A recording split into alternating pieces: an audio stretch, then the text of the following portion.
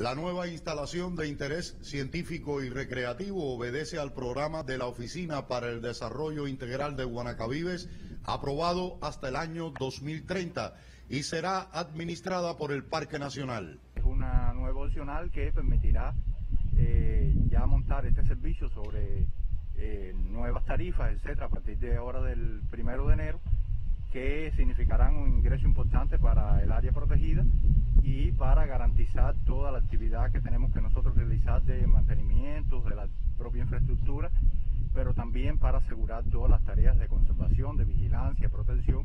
A la inauguración asistió el comandante del Ejército Rebelde Julio Camacho Aguilera, miembro del Comité Central del Partido y director de la Oficina para el Desarrollo Integral de Guanacavives.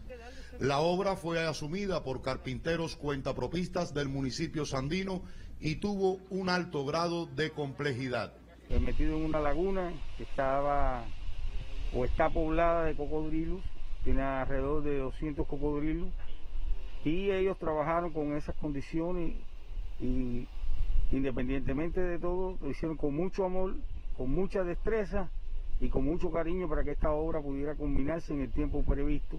A un 85% de ejecución se encuentra además la Villa de los Constructores, muy cerca del Faro Roncali, para alojar a los trabajadores que enfrenten los nuevos proyectos de desarrollo de la zona.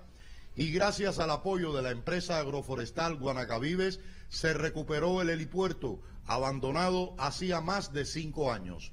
Manolo Rodríguez Alas, Sistema Informativo de la Televisión.